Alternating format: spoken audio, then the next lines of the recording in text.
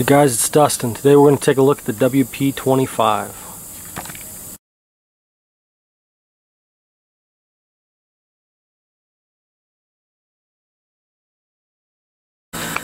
Alright guys, we're back. Um, continuing on with the WP25 demo here.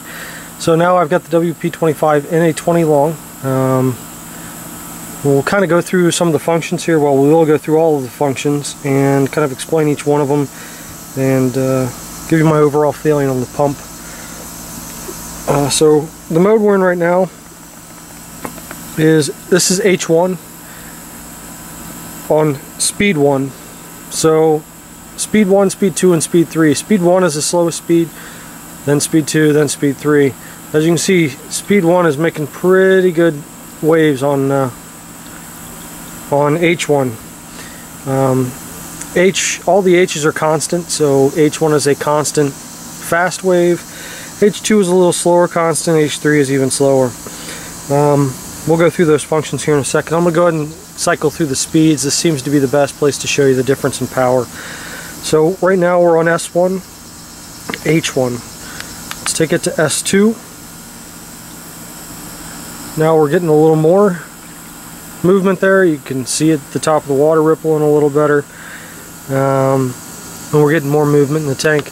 Then we'll take it up to S3. This is the strongest of the of the constant waves.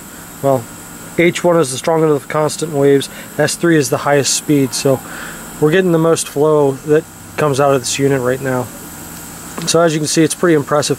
Again, it's in a 20 long. This might not be the best application in the world, and and honestly, if I was running any type of reef in this, I wouldn't be able to run it. It's too much. Um, I will show you later on there is a, a setting that I, I, believe would be fine for 20 gallon long. So let's go ahead and go into the next uh, H setting here. So this is H2. As you can see the waves have died down quite a bit. Um, I'm guessing this is between half and three quarter power of the first uh, setting of H1. And then H3. Uh, you can see even less movement. This is what I believe I could live with on a 20 gallon long. I think this is actually probably real good flow for a 20 long. Um, I'd probably move the, the pump to the back corner, maybe face it up around the, the front so that I got some real good circular motion in the, in the tank. But for demo purposes, this is where we're at. Um, so H2, H1, H2, and H3 is what we've been through so far. Uh, let's go ahead and switch to some of the reef modes.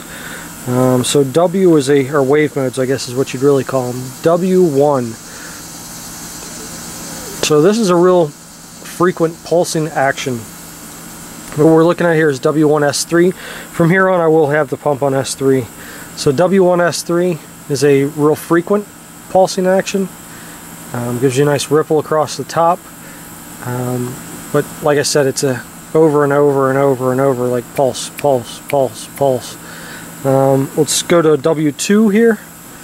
Um, so this is a it's a stronger wave. It's a more constant wave. So we're wave, slow down, wave, slow down. Um, it holds it out for a little longer. W3, again, even longer on the wave, and then slow down, wave, slow down. Um, so you're getting quite a quite a sustained wave on wave 3. Uh, the only other mode left is else. So the else mode is kind of a random cycling of all of the different types. Um, in this size tank obviously it's not going to do any good um, but as you can see it, it cycles through all of them. We're getting all kinds of different wave motions in there. So we'll go ahead and go through the, the sensor real quick that I've been talking about. So you can see Across the top here we have all the different functions that I just went through, the modes. Right here is a 10 minute or a lock. So if I wanted to lock the speed in, I could hold this lock, sorry, losing track of where I'm at. I could hold this lock speed button in right here and lock the speed in. Um, one thing I don't like, this used to have a feed, well my 40 has a feed button on it, a separate feed button. Now if you want to enact the feed button you have to sit here and hold it for a little while and then you'll see it just went to 10 minute lock and now the pump is off for 10 minutes um, I like the feed mode I just don't like the the fact that you have to hold a button in for a little while to turn it on um, Go and turn it back on by clicking mode here. And it'll come back out of the, uh, the lock. And again, you have to hold it or let the 10 minutes come up. Um, this the right hand side is what I was talking about with S1, S2, S3, the different speeds. And then there's a sensor button over here. Um, I didn't see it in the box this time. With my WP-40 they included the sensor. Uh, it's a, basically a night sensor you plug into the side here. These two little holes, and it's probably not going to show very well, but right above my finger there, there's two little holes in the side of this unit. Yeah, you can see them. Um, you plug the sensor in, it's a night sensor. When your lights go off, it turns the pump off, or at least down. I never used it on the WP-40. It's not really anything that I'm really all that amazed with, uh, so I've never used the functionality. They didn't include the sensor, it looks like this time, um, so it doesn't bother me. I'm not going to use it anyway, so we're good with that. Uh, my overall impressions of this WP25, it's a great pump, just like the WP40. Um, tank size, I wouldn't go put the stain in anything with a smaller width than a 20 long. Uh, this is the smallest tank that I would definitely ever put this thing in, and I may use this in a future project, and my biggest reason for that is my application that I'm going to be using it for in that project. But uh, as far as tank size goes, anything with less width I definitely wouldn't recommend. This would be perfect for probably a 40 breeder, something like that. Um, some tank in that range.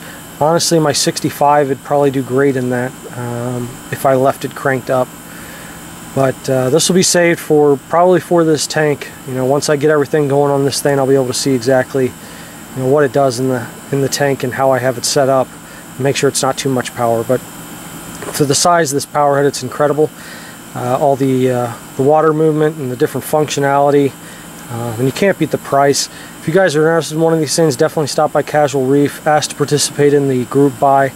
Pick, I picked this up for 50 bucks. Um, it takes a month or two to get these things in, but it's well worth the wait to save the, you know, depending on what where you're buying it at, these things cost you 120 shipped to your house, 110, whatever.